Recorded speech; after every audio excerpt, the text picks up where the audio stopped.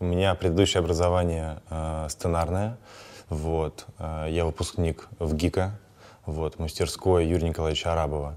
Выпустился, понял, что хотел бы э, снимать сценарии, которые преимущественно написал я, и, соответственно, я поступил вот сюда. Появилась реклама индустрии, где невероятный триумвират преподавателей э, рассказали про вот такую вот школу. Вот. Мне показалось э, это интересным. Я хотел быть немного умнее, чем я был до индустрии, и решил, что индустрия э, самый подходящий способ э, попробовать э, выстроить диалог с умными людьми. Невероятное количество производственной практики обрушилось на наши головы. Э, вот. И это было невероятно здорово, потому что э, через какой-то некий труд, через большое количество труда ты начинаешь хоть чуть-чуть что-то понимать. Помимо того, что я сейчас учусь в школе, у меня еще есть ряд проектов, вот, э, которыми я занимаюсь.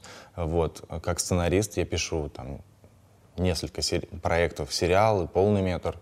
Вот, я снял сериал для развлекательного телеканала, в, который должен очень скоро выйти. А, после чего мне предложили снимать еще один сериал, тоже очень интересный, очень классный. Вот.